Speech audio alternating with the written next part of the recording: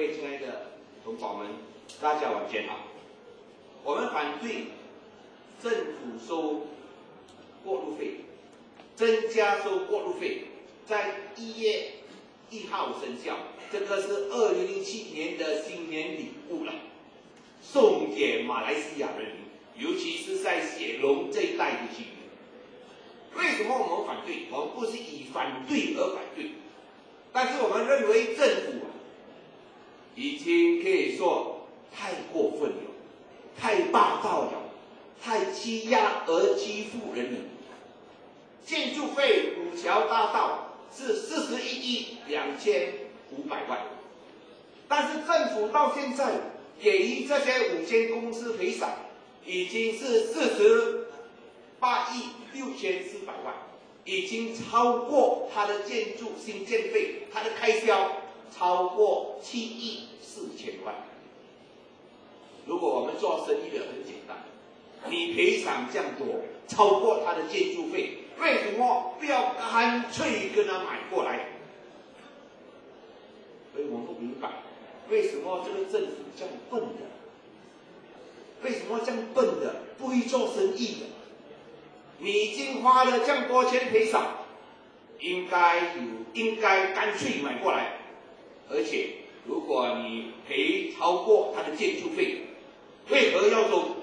这些公司不应该收，因为他们他们已经拿回本钱，已经赚钱了，不应该收过路费，应该免费。刚才录制上讲，我们的过路费算低，如果跟日本来讲很便宜，便宜吗？人家的薪水比我们高三倍嘛，但人过路费比我们高嘛？对不对？这个是理所当然嘛。当然他不了解这一点啊，因为他认为他的薪水跟日本的薪水也差不多一样嘛。当然嘛，他应该是泰国一样。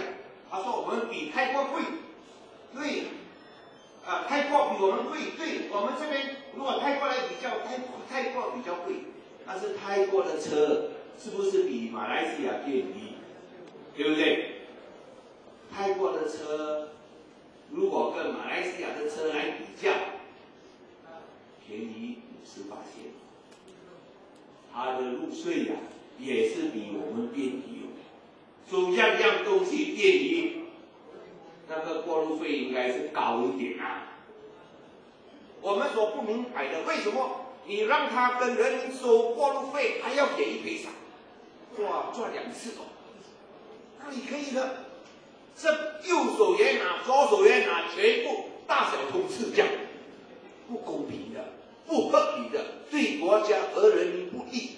我们不要看这种的私营化，赚钱的时候他全部他享受，亏钱的时候要人民来去承担，这个是非常不公平、不合理，不能够被接受。